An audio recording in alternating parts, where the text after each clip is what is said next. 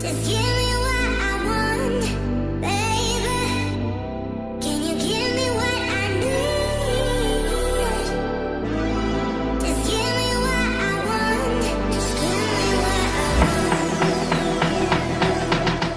what is up guys? This is Megapixel Pro and today we gonna check out how we can enable some of the features of the latest macOS Catalina on your Windows PC. With that being said if you end up liking this video drop a like and subscribe to the channel and let's get right into the video. One of the key features of macOS Catalina is its dark mode. You already have these features in Windows 10 and for enabling it just right click on the desktop then click on personalize and then in the colors option select dark Remember one thing, you have to manually select the color for the taskbar.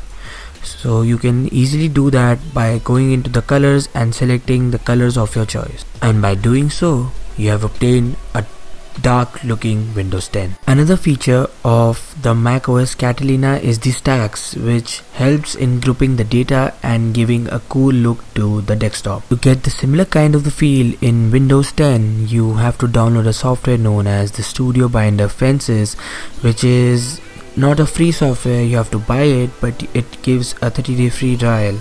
So you can use that for the time being. So for downloading that the link would be in the description below and you can try this software. For creating a fence on your desktop you just need to create a rectangle on the desktop and then choose create a fence and then name it and then add some of your data. You can change the background style and color of these fences by clicking on the color in appearance tab you can apply roll-up animations to these fences by clicking on the 3 sticks bar option, then clicking on the view and then clicking on roll-up fences. For getting a more clear look of the desktop, you can double click on the desktop and these uh, fences would hide and then you can again double click to get these fences appear. For getting these dynamic wallpapers from the macOS Catalina, just click the link in the description below and download from there. After downloading the files from the link given in the description below, you would get these 11 wallpapers. You have to just create a folder naming macOS Catalina and add these 11 wallpapers to it. To apply these wallpapers, you have to just click on start then click on settings.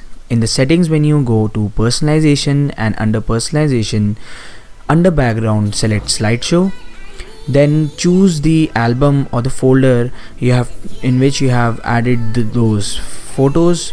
And after that uh, off shuffle and then uh, on uh, run slideshow even if on battery power and you are good to go. And before you proceed select uh, change picture every 6 hours. Okay guys so i hope you have enjoyed this video. And before going i wanted to tell you that i'm somehow managed to bring uh, two premium wallpapers for lock screen. So you can download them with the link given in the description below and you can have a great feel on the lock screen of your Windows 10 also.